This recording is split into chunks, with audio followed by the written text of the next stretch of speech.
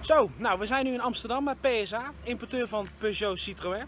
Ehm, en achter ons, daar, zie je de Peugeot Traveller staan. En dan zal je denken, die heb je toch al gereden? Nou, dat klopt. Maar naast mij staat Herma. Herma is de...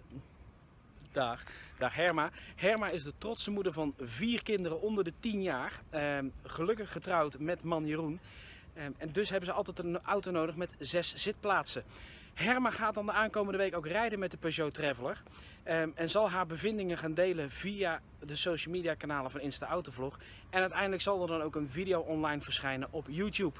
Ehm, nou, Herma, heb je er zin in? Wij hebben er zin in. Ja, gaat het helemaal lukken denk je? Moet goed komen. Ehm, ja, zoals ik al zei, hou Instagram, Facebook, Twitter, YouTube, alles in de gaten en we houden je up-to-date.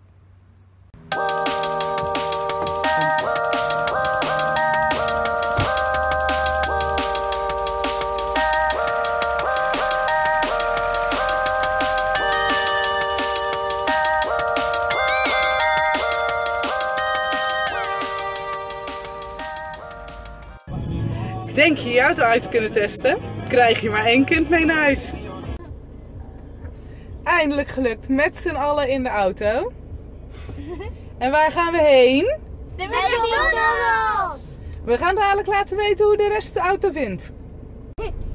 Het moment dat we tot de conclusie komen dat er te weinig bekerhouders zijn.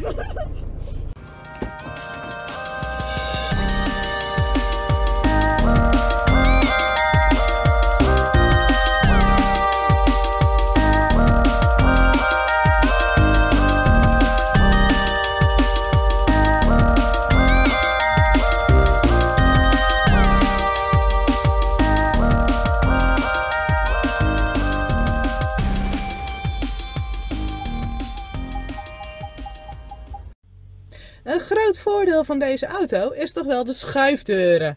Doe maar eens op het knopje Nova. Want we staan hier helemaal klem tussen twee auto's en toch kunnen we gewoon uitstappen.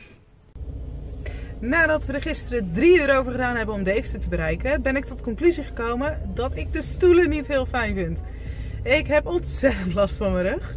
Maar ondertussen wel weer 24 uur verder. Alle kinderen weer thuis, de bus weer gevuld en we gaan er weer voor.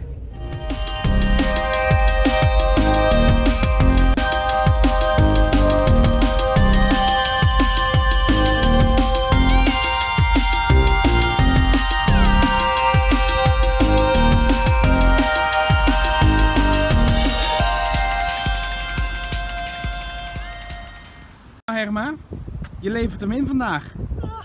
Met tegenzin denk ik? Ja? Of verlang je terug naar de traject? Nee, Hoe is die bevallen? geweldig. Ergens tegen aangelopen op praktisch gebied of zeg je nee, het is gewoon praktisch, is hij onverslaanbaar? Nee, hij is ruim, hij is overzichtelijk.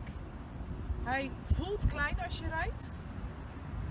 Genoeg ruimte in de kofferbak als alles gewoon open staat. Dus nee. Vond je bijvoorbeeld van het geluid, zeg je van nou, hij maakt te veel herrie onderweg of viel nee, dat wel zeker mee? niet. Zeker niet. Vrij stille auto hè? Vrij stil. Het geluid van de radio is goed. Ook niet onbelangrijk. Ook niet onbelangrijk, zeker niet navigatie gebruikt. Ja? Prettig. Ja? Nou, dat is ook heel duidelijk dan. Ehm, ja, en die schuifdeuren links en rechts, hè, dat vond je ook wel... eh, Heerlijk. zeker als Geen je... gemekken met deuren die opengegooid worden tegen andere deuren. Nee, dus dat is wel heel safe met kinderen dus. Ja, Hartstikke mooi. Wat vond je van de motor en de versnellingsbak? de versnellingsbak miste ik. Ja, schakel je liever? Eh denkt wel. Oké, oké. Nou, geen automaat dus voor Herma. Nee. Nou, dat is eh, heel mooi dan. Maar belangrijker nog Herma, wat vonden de kinderen ervan en manlief Jeroen? Eh manlief Jeroen heeft hem dus heel veel gebruikt, maar die was ook wat te spreken. De kinderen vonden vooral het knopje om de deuren dicht te doen erg leuk. Dus dat was de ruzie. En het dak, daar waren ze helemaal happy mee. Hebben ze ook aan de ventilatieroosters gezeten? Of Ja, vonden ze ook wel heel erg prettig dan dat ze frisse lucht kregen ja achterin? want de een die had het koud, de ander die had het warm. En uiteindelijk eh, had iedereen wat hij wilde. We kregen wel een vlogje van je dat de bekerhouders misten. Ja, maar daarmee ben ik verwend. In het traject zitten er bij iedere stoel twee. De Triet heeft gewoon twee bekerhouders per stoel. Precies, Dat is ook weer een beetje overdreven dan, hè? daarom. Oké, nou ja. Maar uiteindelijk eh, is het dus wel goed gekomen met de bekers. Ja, ze zijn weggegooid. Is die McDonald's proefde auto? Zeker.